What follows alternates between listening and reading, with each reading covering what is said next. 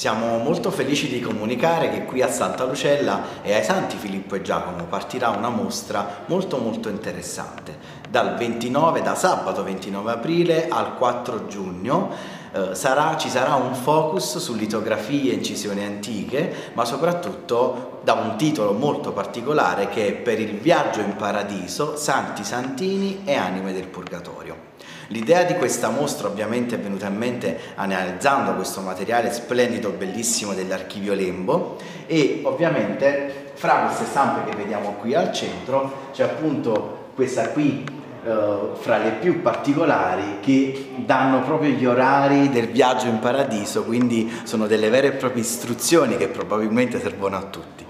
L'altro aspetto più importante poi è, è ovviamente il culto delle anime del purgatorio, e sappiamo che ovviamente è un culto tutto napoletano, qui a Santa Lucella c'è il teschio con le orecchie, simbolo, ma in realtà il culto delle anime del purgatorio prende tutta la città, ci sono dei luoghi bellissimi e non a caso abbiamo anche ritrovato una delle lettere che per tradizione le anime del purgatorio avevano inviato a noi, a noi, perché chiedevano aiuto. E qui è proprio spiegato il culto delle anime del purgatorio ed è una lettera della congrega di Verteceli ma c'è anche per esempio la coronella delle, in suffragio delle anime del purgatorio, queste anime che di lunedì hanno bisogno ancora di più del rifrisco perché è il giorno più lontano anche dal sabato quando la Vergine scende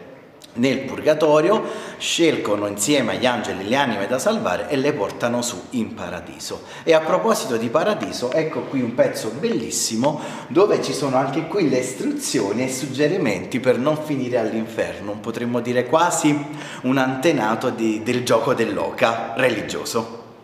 C'è una collaborazione con Massimo Faella con una parte del mio archivio sacro che in questo caso è formato da una quarantina di stampe delle anime del Purgatorio, oltre a una selezione di santi ricamati dalle suore napoletane nella chiesa di San Filippo e Giacomo.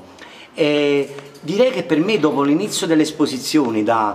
fatte il mese di agosto dell'anno scorso all'Arciconfraternita eh, di Santissimo Crocifisso a Piazza San Gaetano è stato l'inizio di una lunga cavalcata di tante mostre grazie anche a Rosario Martuscello per arrivare qui a Santa Lucella dove c'è il massimo connubio fra la litografia napoletana, zona dei librai, dove eh, prima del 1860 erano presenti un centinaio di stampi litografie e poi anche, quindi la presenza di queste stampe, anche il connubio fra il San Biagio, la famosa reliquia eh, che portarono nell'VIII secolo d.C. in occasione della rivolta iconoclasta le suore eh, armene, con il teschio con le orecchie.